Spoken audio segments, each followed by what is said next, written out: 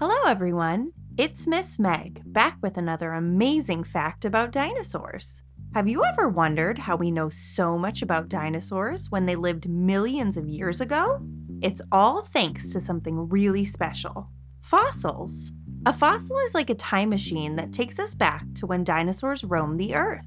When a dinosaur died, sometimes its bones, teeth, or even footprints were buried in mud or sand.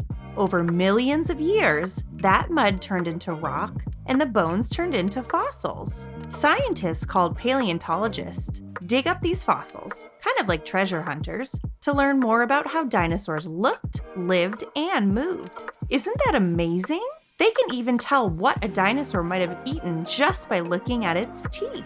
For example, sharp teeth like these mean a dinosaur were a meat eater, like the T. rex.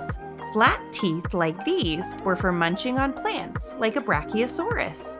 Fossils help us piece together the puzzle of the past. And it's not just bones. Sometimes we find fossils of dinosaur footprints. These tell us how big a dinosaur was and how fast it could run. So the next time you see a picture of a dinosaur, remember scientists work really hard digging up clues from the earth to teach us what we know today about dinosaurs. Thanks for exploring with me today. Keep asking questions and stay curious.